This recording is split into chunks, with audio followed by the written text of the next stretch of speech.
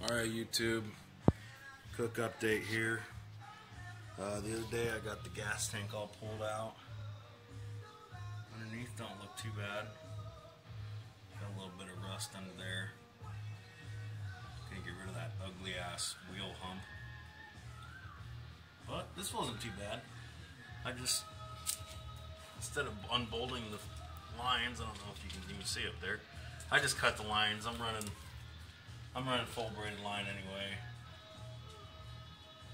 Here's my weak ass seven and a half. Sorry, it's all shaky.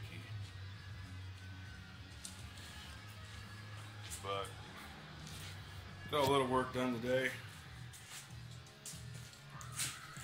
Went and got the got the motor pulled out.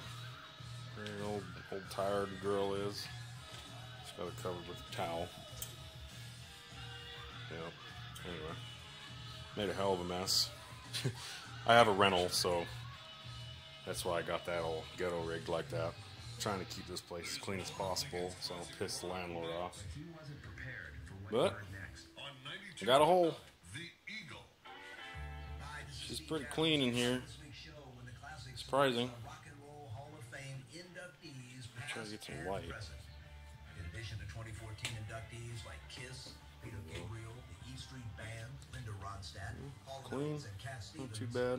timeless tracks by the Rock Hall's Here's the giant mess. including Paul McCartney, The Who, Creedence, Janis Joplin, Cream, Firewall. The Kinks, The Rolling Stones, Yep. Led Zeppelin. Need to get it to the power washer or something. Maybe have a buddy come help me get this thing on a trailer. Check out the Hall of Fame bands this Sunday night. And me and my boy Corey, we knocked it out today. Got some shit done.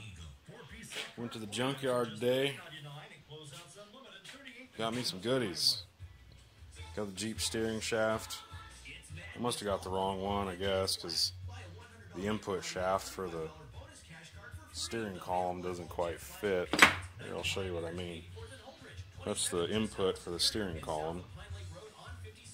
It's not very big. Here's the input for the factory steering column.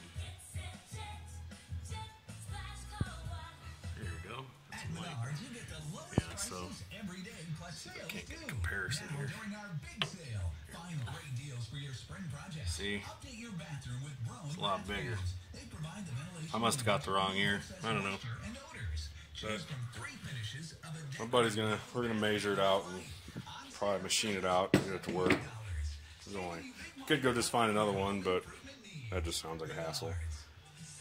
Been looking so long for these things, and finally, it's like a diamond in the rough. Got my Blazer spindles, two wheel drive.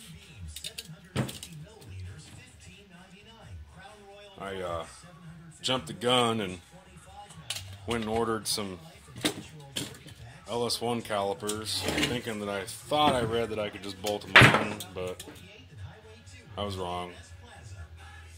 I got a little excited, I guess. So when those arrive, I gotta exchange them for new new uh, S10 calipers.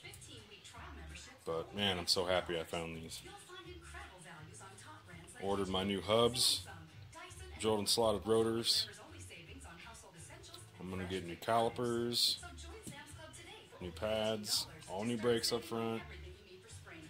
Go with all new everything up front. So, and that input shaft does go on this. It does fit. I didn't put it on all the way, but enough. And I, it even goes on my F body box, so I'm in luck. Definitely in luck.